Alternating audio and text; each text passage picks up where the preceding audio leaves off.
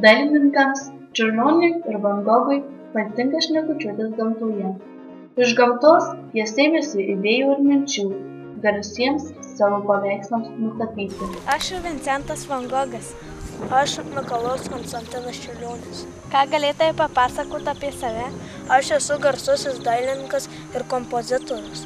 Mokinausi varšuvos mokykloje gimiau senojoje varėnoje paskui persi persikėliau į druskininkus. Aš esu sukūręs e, kompoziciją jūra ir esu e, paveikslą nutapęs žvaigždžių sonatą e, pilis mano veikla tapyti ir groti o ką dar galėtumei papasakot apie save? Aš turiu vilniuje didžiausią muziejų.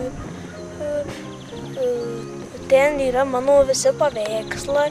O kokia tavo veikla? Aš esu vincentas van gogas gimiau tūkstantis aštuoni šimtai penkiasdešimt trečiais metais.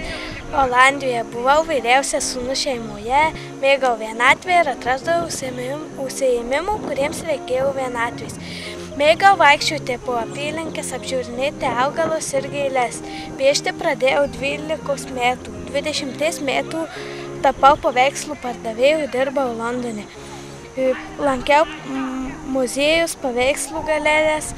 Įsimylėjau merginą bet aš jai nepatikau ir ji mane atstūmė. Todėl aš buvau sugniuždytas ir praradau norą gyventi. Nenorėjau